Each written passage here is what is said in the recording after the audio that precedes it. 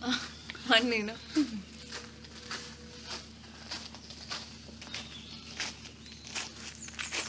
ඒයි මොකෝ උනේ? වැඩේ හරි. මං ඉන්ටර්විව් එකෙන් පාස්. අම්බෝ ඇති අන්තා. පෙරම් පුරාගෙන හිටපු රස්සාව හම්බෙච්ච එකට නම් මට මාර සතුටුයි. නර්සරි ටීචර් කෙනෙක් කියන්නේ හරිම ඉවසිලිවන්තව කරන්න ඕනේ රස්සාවක්. මං දුවට එක අවවාදයක් දෙන්නම්. දුවගේ තියෙනවනේ හොස්සලාගේ මෑස්සගේ ඇවිලෙන සුළු බව ආන්න ඒක නම් තියාගන්න එපා. අම්මෝ ආන්ටි මෙයාට ඔය අපිත් එක තරහ ගියාට අනිත් මිනිස්සු එක තරහ යන්නේ එහෙම.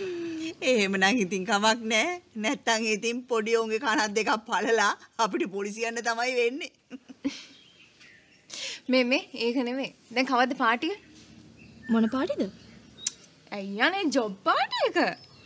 උඹ හිතුවේ ඉන්ටර්විව් එකට ගිය ගමන්ම පඩිය අතර දීලා රස්සාවට එන්න කියනවා කියලාද?